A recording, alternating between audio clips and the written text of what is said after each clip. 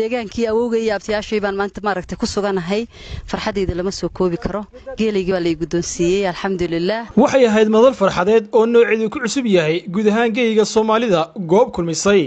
Odayada labada ardaa ee ka soo kala jeedaan lamaanaha dhawaan iscalmaday ee kalaafaneedda caanka ee safiitusmo iyo saygeeda ganacsaday cabdilaahi yuusuf aare. Waana dooxada taariikhiga ee harawa ee magaalada arabi halkaasi oo maanta si rasmiya fanaanada safiitusmo loogu guddoonsiiyey boqol iyo labaatan geela oo ahayd meherkeyga uu dhowaan ku mehersaday saygeeda cabdilaahi yuusuf aare. Madashani farxadeed ayaa waxa ugu horreyn ka hadlay maxamuud aare miicaad oo ka socday dhinaca sayga safiitusmo waxaana uu si sharaf iyo milga ku dheehan tahay boqol iyo labaatan geela ugu wareejiyey ciyo xuseen oo isaguna geelani u guddoomay gabadhooda safiitusmo oo dhinkeeda ka socday. Waa kuwan iyagoo geelaasi kala guddoomaya hadallo kala duwan oo mahadnaq u badanna goobtaasi ka soo jeedinaya anigoo ah maxamuud aare miicaad ahna cabdilaahi yuusuf aare adeerkii geelii boqol iyo labaatanka halaad ahaayeen gabadhii tusmo ku meherinay ayaan halkan guddoonsiinayaa gacalkii lahaa. Yaan halkan gacalow geelna waa inaad iga guddoontaan boqol iyo labaatankii halaadba halkanaan idiin marinayaa iminka.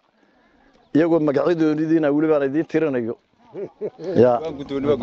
Geelay waa inaad aad guddoontaan dhallinyar iyo waayeelba. Saaxiibkii dhowel oo gabadha maalintii la meherinayeen goobjoog ka ahaa oo duqaydii gabadha.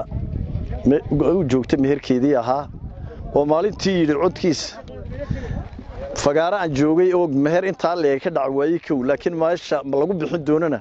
Waanu joogi doonaa yidhi. Nasiib darro arrin au yeeshabu maanta igu suuro geli weyday inuu yimaado.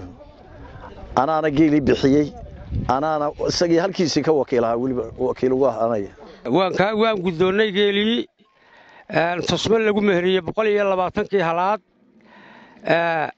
Ehelkiina waan guddoonsiino oo iyagaa u guddoomay weligii gabadhaa u guddoomay intaay waa intaa marka koowaad waan salaamaya haddee boqorkii iyo boqoradda.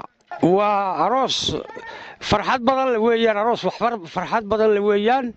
Soomaalida dhaqanba uma ahayn dee yacnii boqol iyo labaatan halaadoo gabadh lagu meheriyo dee dhaqanba uma ahayna waa shay cusub. Farxad daraaddeed weeye anigoo ah cigo xuseen cilmi ama kaariga degmada hare waa la talinta nabadgelyada. Marka yacni arrintaasi waa arrin culus oo sharaf iyo wanaag leh waanan ka guddoomaynaa waanan guddoonnay. Sidoo kale waxaa isaguna goobtaasi goobjoog ahaa sheekh cilmi naxwi oo isagu ahaa qaadiga ama sheekhii cabdilaahi yuusuf aari u meheriyey marwadiisa safiitusmo oo dareen farxada ku soo dhoweeyey. Geelini maanta ay kula guddoomayeen labada arday ay ka soo kala jeedaan lamaanahani dhowaan iscalmaday isagoo sidoo kale halkaasi ka xusay in labaatan geel oo ka mid ahaa geela maanta la guddoonsiyey safiitusmo ay ugu deeqdeen maskiid dhismihiisu ka socdo deegaanka araabi waxaana uu yidhi anta sida xaaji maxamuud sheegay halkan geelii safeetusma lagu meheriyey ee meherkeega ahaa ee boqol iyo labaatankii geel ahaa ayaa lagu guddoomay oo lagula kala wareegay. Ciddii maarsa lahaydna ay sidaa u guddoontay waxaan anugu ku darayaa uun safeetusma waxay ii sheegtay masaajid baa ka socda magaaladan araabi masaajidkii ugu weynaa ee maarsa sentarka ku yaalay mise jaamaca ahaa waa la dhisayaa dhismaa ka socda safeetusma waxay ii sheegtay labaatan geela inay ugu deeqday dhismaha masaajidka oo ka mida boqol iyo labaatanka. Waxaan leenahay ilaahay subxana watacaala ha ka aqbalo waa arrin aad iyo aad u wanaagsan waa arrin aad iyo aad u wanaagsan oo runtii ku dayasho mudan. Waxaan leenahay aad iyo aad baad ugu mahadsan tahay in dhismaha masaajidka halkaa ka socdana aad ka qayb qaadato oo meherkaagii qayb ka mida aad aad ku bixiso intaasaan ku daray aad iyo aad baad mahadsantihiin kuma eke intaasoo geliya? Balse waxaa madashani farxadeed ku sugnaa. Odaya ka soo jeeda deegaankaasi oo iyagu markhaati ka ahaa geele maanta ay kala guddoomayeen labadan ardaa waxaana hadladoodii ka mid ahaa. Halkan waxaan ka caddaynayaa anigoo ah maxamed cismaan yuusuf oo ah qabiil ahaan marka la sheegana makaydheere oo makaayila.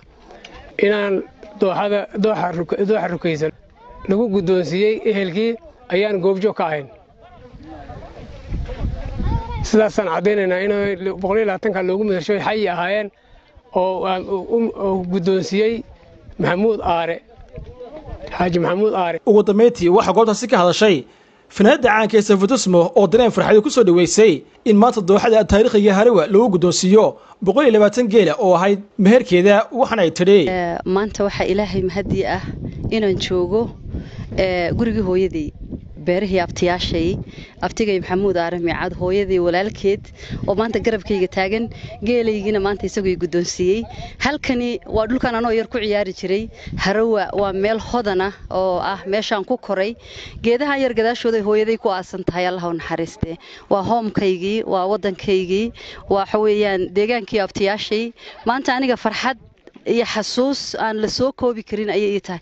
Caruurnimadaydii baan xasuustaa hooyaday macaan baan xasuustaa deegaankii awowgay iyo abtiyaashay baan maanta maaragtay ku suganahay. Farxadayda lama soo koobi karo. Geelaygii baa lay guddoonsiiyey alxamdulilaah abtigay macaan hooyaday walaalkeedo maanta ilaahay igu simay isagoo caafimaad qaba inaanu saaka buurama ka soo wada boqollo. Boqollaatankii halaadna gacanta iga saaray. Alxamdulilah ummadda soomaaliyeed fiidihan daawan doontana waxaanu leenahay. Waad mahadsantii